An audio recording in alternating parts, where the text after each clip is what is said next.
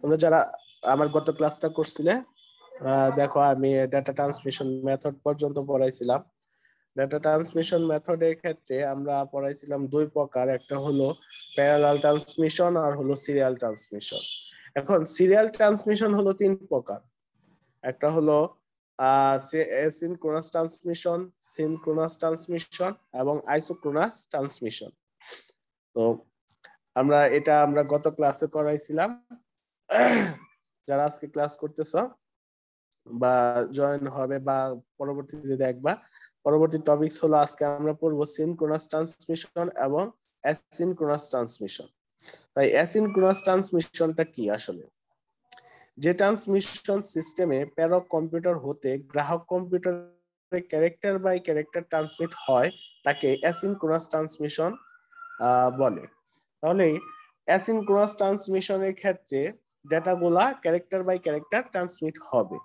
তাহলে character by character character কি আসলে? ক্যারেক্টার হলো আটটি বিটের একটা গ্রুপকে, আটটি বিটের একটা গ্রুপকে ক্যারেক্টার বলা হয়। এখন বিট কাকে বলে? বিট হলো বাইনারি ডিজিট বাইনারি ডিজিট হলো জিরো এবং ওয়ান জিরো এবং ওয়ান কে প্রত্যেকটিকে এক একটি করে বিট বলা হয়। এখন এই আটটি বিটের একটা গ্রুপকে ক্যারেক্টার বলা হয়। এই ক্যারেক্টার বাই ক্যারেক্টার ট্রান্সমিট করা হয় অ্যাসিনক্রোনাস ট্রান্সমিশনের ক্ষেত্রে। এই অ্যাসিনক্রোনাস ট্রান্সমিশন শব্দটি মূলত অ্যাসিনক্রোনাস শব্দটি মূলত একটি পদ্ধতি বর্ণনা করে যেখানে স্থানান্তরিত ডেটা একটি স্টার্ট এবং দুটি স্টপ বিট এনকোডেড সংকেতভুক্ত হয়, যা প্রতি ক্যারেক্টার শুরু এবং শেষে সুনির্দিষ্টভাবে চিহ্নিত করে। এখন ক্যারেক্টার বাই ক্যারেক্টার ট্রান্সমিট করার ক্ষেত্রে, একটি কম্পিউটার থেকে আরেকটা কম্পিউটারে ক্যারেক্টার বাই ক্যারেক্টার ট্রান্সমিট করার ক্ষেত্রে একটা দুইটা বিট আলাদাভাবে দেওয়া হয়, যার মাধ্যমে চিহ্নিত করা যায়। এটাই বলা হয়েছে স্টপ বিট এবং স্টার্ট বিট তাহলে এই অ্যাসিনক্রোনাস ট্রান্সমিশন ফরম্যাটটি স্টার্ট স্টপ মোড বা ক্যারেক্টার নামেও পরিচিত। স্টপ স্টার্ট মোড বা ক্যারেক্টার নামেও পরিচিত। এই ক্যারেক্টার ট্রান্সমিট হওয়ার পর আরেকটি ক্যারেক্টার ট্রান্সমিট হওয়ার সময়ের বিরতি সমান না হয়ে ভিন্ন হতে পারে। সমান না হয়ে ভিন্ন হতে পারে। আর একটা ক্যারেক্টার যে সময়ে যায় পরবর্তী ক্যারেক্টার ওই একই সময়ে নাও যাইতে পারে। যেমন কিবোর্ড দ্বারা ব্যবহারকারী ডেটা এন্ট্রির গতি কখনো একরকম হয় না। তারপর অ্যাসিনক্রোনাস ট্রান্সমিশনের সুবিধা। অ্যাসিনক্রোনাস ট্রান্সমিশনের সুবিধাগুলো হলো, যেমন ইনস্টলেশন খরচ খুব কম এবং বাস্তবায়ন করা সহজ।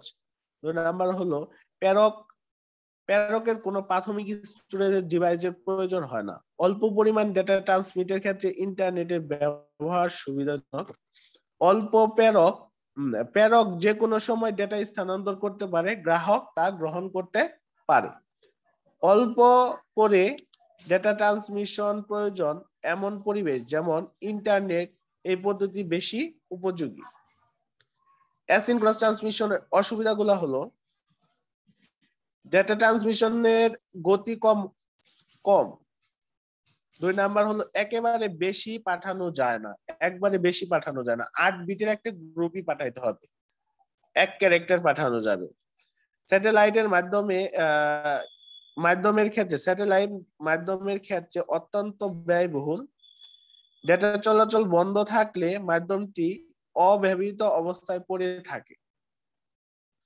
প্রতিটি বর্ণের সাথে একটি স্টার্ট বিট ও একটি স্টপ বিট প্রেরণ করতে হয়।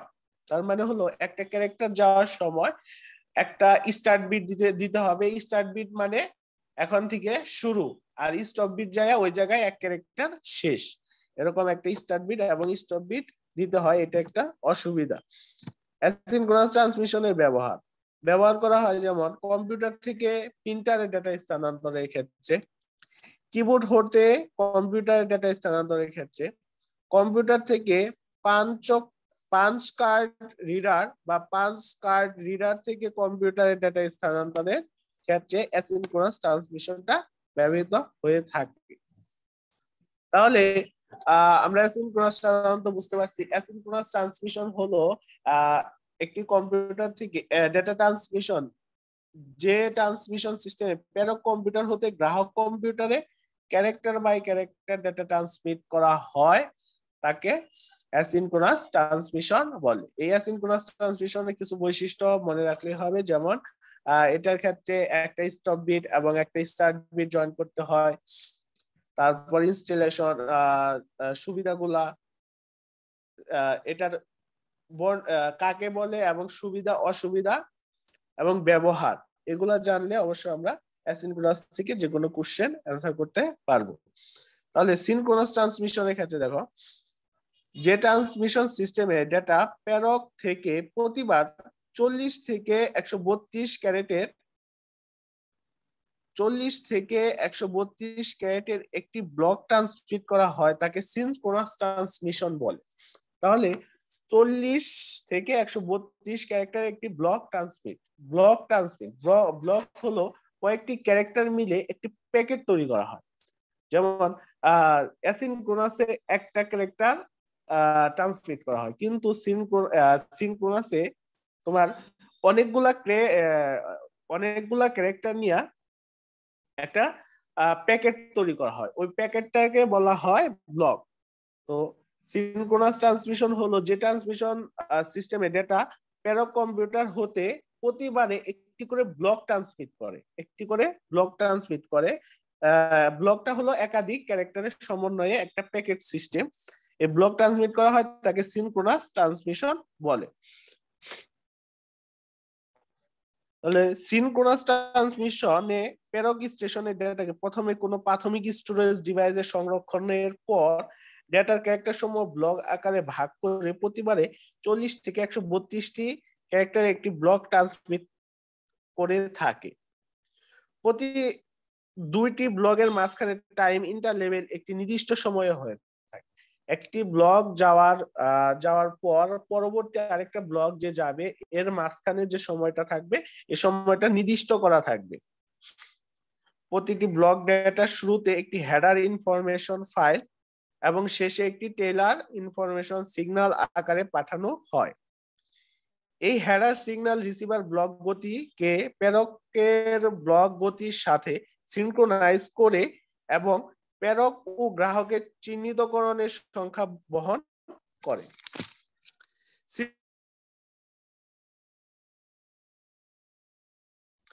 সিনক্রোনাস ট্রান্সমিশনের সুবিধাসমূহ হলো, এ পদ্ধতিতে দক্ষতা অত্যন্ত বেশি। এ পদ্ধতিতে দক্ষতা অত্যন্ত বেশি।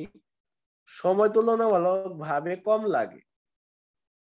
সময় তুলনামূলক ভাবে কম লাগে। ডেটা ট্রান্সমিশনের গতি অত্যন্ত বেশি হয়। ডেটা ট্রান্সমিশনের গতি অত্যন্ত বেশি হয় কারণ হলো একাধিক ক্যারেক্টারের একটা ব্লক যায়। একাধিক ক্যারেক্টারের একটা ব্লক ট্রান্সমিট হয়। এর জন্য সিনক্রোনাসের ডেটা ট্রান্সমিশন গতি একটু বেশি। মানে প্রতি ক্যারেক্টার ট্রান্সমিটের পর বিরতি প্রয়োজন হয় না। প্রতি ক্যারেক্টারে শুধু শুরু থেকে শেষ স্টার্ট এবং স্টপ বিটের প্রয়োজন হয় না। যেমন, দেখো এটার ক্ষেত্রে একটা পার্থক্য আছে। যেমন অ্যাসিনক্রোনাস এবং সিনক্রোনাসের ক্ষেত্রে পার্থক্য হলো এটার ক্ষেত্রে দেখো শুধু স্টপ বিট এবং স্টার্ট বিটের প্রয়োজন হয় না। সিনক্রোনাসে স্টপ বিট এবং স্টার্ট বিটের প্রয়োজন হয় না। কিন্তু অ্যাসিনক্রোনাসে স্টপ বিট এবং স্টার্ট বিটের প্রয়োজন হয়। তারপর ডেটা ট্রান্সফারের গতি দ্রুত হয়, কিন্তু অ্যাসিনক্রোনাসে ডেটা ট্রান্সমিশনের ডেটা ট্রান্সমিশন দ্রুত হয় না। প্রতি ক্যারেক্টারে প্রতি দুটি ব্লকের ট্রান্সমিশনের সময় মাঝখানে বিরতি সমান হয়। তাহলে কি বলছে? প্রতি দুটি ব্লকের ট্রান্সমিশনের মাঝখানে সময় বিরতি বিরতির সময় সমান হয়। কিন্তু দেখো অ্যাসিনক্রোনাসের ক্ষেত্রে প্রত্যেকটা ক্যারেক্টার যাওয়ার সময় এবং একটা ক্যারেক্টার গেল, তার পরবর্তী আরেকটা ক্যারেক্টার কখন যাবে, এটার কিন্তু সময় কোনো নির্দিষ্ট নাই। কিন্তু এই সিনক্রোনাসের ক্ষেত্রে নির্দিষ্ট করে দেওয়া আছে। বেশি পরিমাণ ডেটা ট্রান্সমিট করায় ইন্টারনেটে এ পদ্ধতি সুবিধাজনক। সিনক্রোনাস ট্রান্সমিশনের অসুবিধা হলো এ পদ্ধতিতে সার্কিট বেশ জটিল। এ পদ্ধতি তুলনামূলকভাবে ব্যয়বহুল। প্রেরকের সাথে একটি প্রাইমারি স্টোরেজের প্রয়োজন হয়। প্রতিটি ব্লগের শুরুতে হেডারের শেষে একটি টেইলার ইনফরমেশন সিগন্যাল যোগ করতে হয়। সিনক্রোনাস ট্রান্সমিশনের ব্যবহার কম্পিউটার থেকে কম্পিউটারে ডেটা কমিউনিকেশনের সময় ব্যবহার করা হয়। এক নাম্বার, এক স্থান থেকে দূরবর্তী কোনো স্থানে ডেটা ট্রান্সমিট করা। দুই নাম্বার হলো, এক কম্পিউটার থেকে একই সময়ে অনেকগুলো কম্পিউটারে ডেটা ট্রান্সমিশন ট্রান্সমিট করা হয়। তাহলে আমাদের আজকে ক্লাসে থাকবে হলো দুইটা, একটা হলো অ্যাসিনক্রোনাস ট্রান্সমিশন আর একটা হলো সিনক্রোনাস ট্রান্সমিশন তাহলে আমরা এই অ্যাসিনক্রোনাস ট্রান্সমিশনের ট্রান্সমিশন কাকে বলে?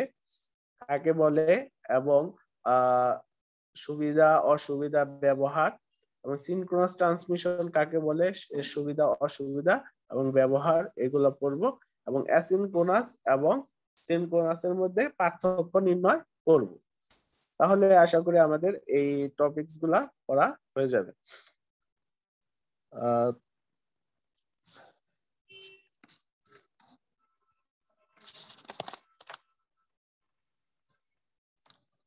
আমরা পরবর্তী ক্লাসের জন্য পড়ব হলো ডেটা ট্রান্সমিশন মোড আর হলো আরেকটা যেমন হলো আইসোক্রোনাস ট্রান্সমিশন আইসোক্রোনাস ট্রান্সমিশনটা আমি একটু বলে দিই।